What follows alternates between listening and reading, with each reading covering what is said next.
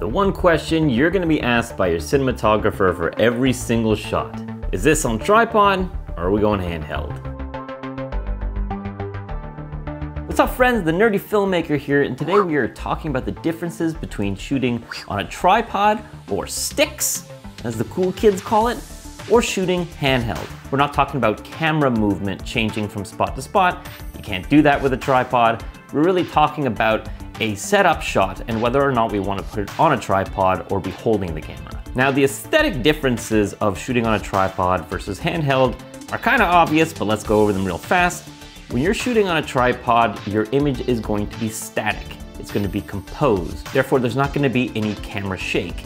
If you're hand holding a camera, you're going to be getting the movement of your hands going like this, whoa!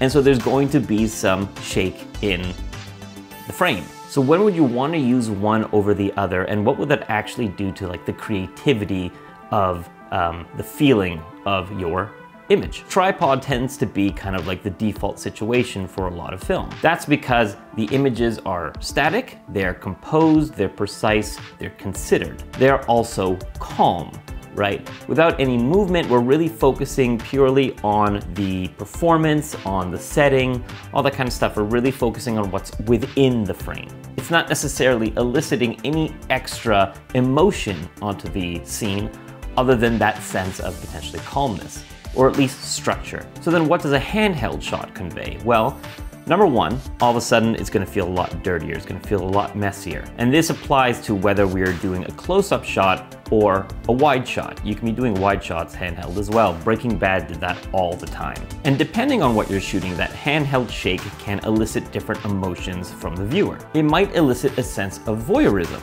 And so if you wanna be putting the uh, viewer within the scene and maybe have them feel a little bit of discomfort about being within the scene, um, the camera shake helps with that. The staticness of a tripod kind of helps separate the audience from the scene. So that could be great for, let's say, an argument scene or something that's really vulnerable.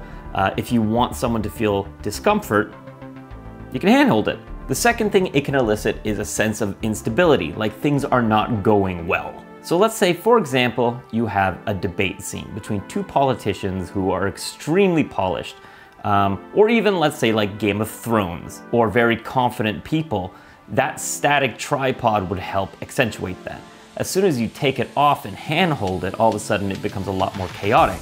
And that's when maybe tensions are getting elevated, or maybe they're not two polished people. Let's say it's just two people going at it, right?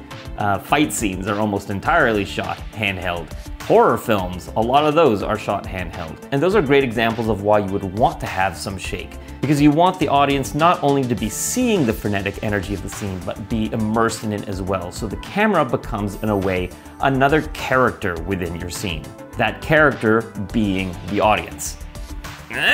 If you want the viewer to feel immersed in the scene and part of the scene, whether it's to elicit discomfort in them by having them be in an intimate scene, to feel part of the action in a fight scene, or to feel like they are being chased by a zombie uh, from a horror scene, those are reasons why you might want to go to handheld. So there are two more notes that I want to touch on. First is that um, there is a middle ground. If you want to have some camera movement, but you don't want all of the, let's say, kind of jitters that come along with uh, hand holding, you can do what's called loose sticks. So that's basically when you have the camera on your tripod, but you have all the tension and locks released. And so you're still relying on the stability of the legs uh, to hold the weight of the camera, but the cinematographer is still kind of like floating with it, keeping it, you know, pointing the right way. And so you do kind of get that, that movement, but it's more of a float.